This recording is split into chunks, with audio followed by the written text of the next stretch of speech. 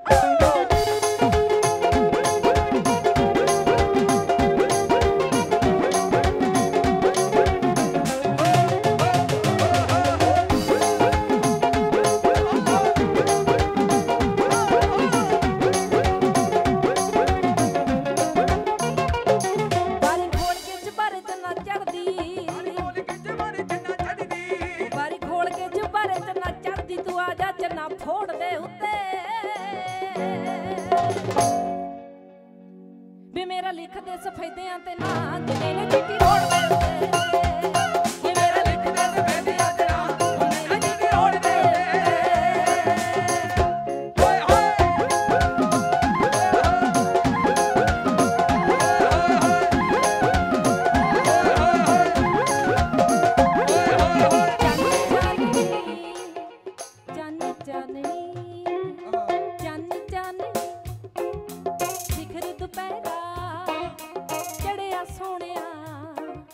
ਸਿਖਰ ਦੁਪਹਿਰਾ ਚੜਿਆ ਸੋਹਣਿਆ।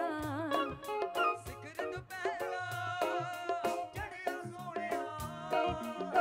ਵਿੱਚ ਮੱਚ ਗਏ ਸਾਰੇ।